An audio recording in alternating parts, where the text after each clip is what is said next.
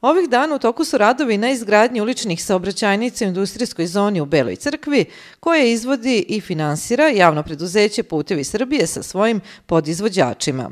Gradilište je obišao predsjednik opštine Darko Bogosavljević. U toku izvođenja radova na četvrtoj fazi izgradnje uličnih saobraćajnica u industrijskoj zoni. Znači, postavlja se e, noseći sloj asfalta u zavisnosti od vremenskih uslova. E, vidjet ćemo kada će biti, nadamo se da ćemo stići to u ovoj godini da se radi ovaj habajući sloj i time bi e, ulice bile završene. Onda je još predstoji, odnosno ovi radovi koji nas očekuju su trotoari i parkinzi.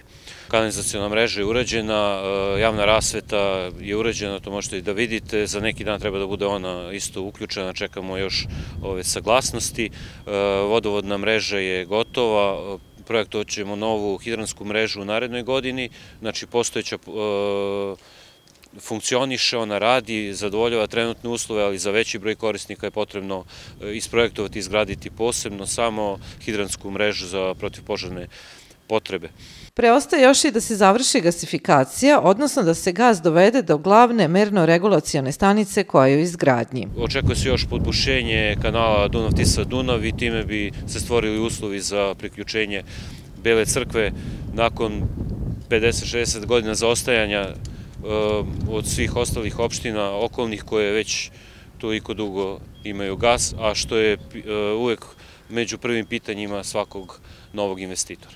Pored toga veliki problem koji smo zatekli ovde neodgovornim ponašanjem e, i preduzeća nekih i, pojedinaca, ove velike deponije materijala koji je tu godinama, godinama istovaran i ovaj, koji mora da se ukloni. Opština Bela crkva trenutno nema sestava, mi ćemo se e, obratimo već početkom sledeće godine i ministarstvima kao i e, pokrenjskoj vladi i upravi za kapitalno ulaganja u vezi pomoći za uklanjanje ovih deponija kako bi mogli da obezbedimo uslove za investitore koji su, evo sada već nekoliko njih se javlja i e, raspituje se kada, kada bi ti radovi mogli da budu gotovi, kako bi oni mogli da e, krenu sa, sa intenzivnim pregovorima za realizaciju svojih poslovnih ideja.